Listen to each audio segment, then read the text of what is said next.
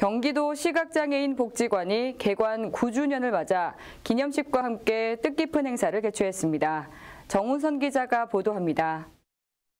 지난 27일 경기도 시각장애인 복지관은 개관 9주년 기념 행사를 진행했습니다.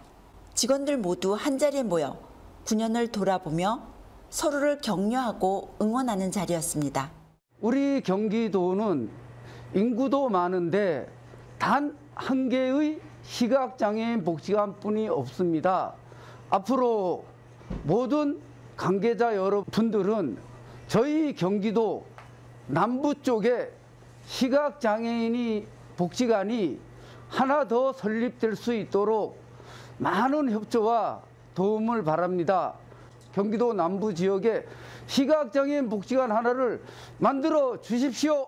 직원들은 동료의 장점을 찾아내 시상을 하는 훈훈한 시간도 준비했습니다.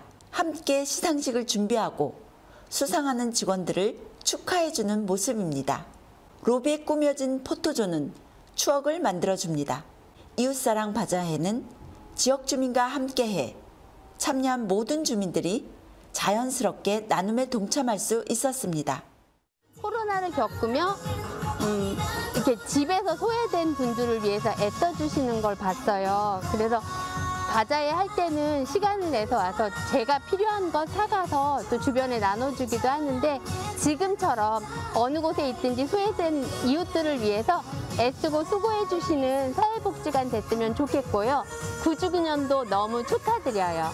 바자의 수익금 전액은 경기 지역 제가 시각장애인 가정의 밑반찬 지원 사업으로 사용됩니다. 경기 도 내 시각장애인이 빛이 되어주기 위한 관계자들의 노력이 지역의 많은 관심과 참여를 이끌어내고 있습니다. 복지TV 경기방송 정은선입니다.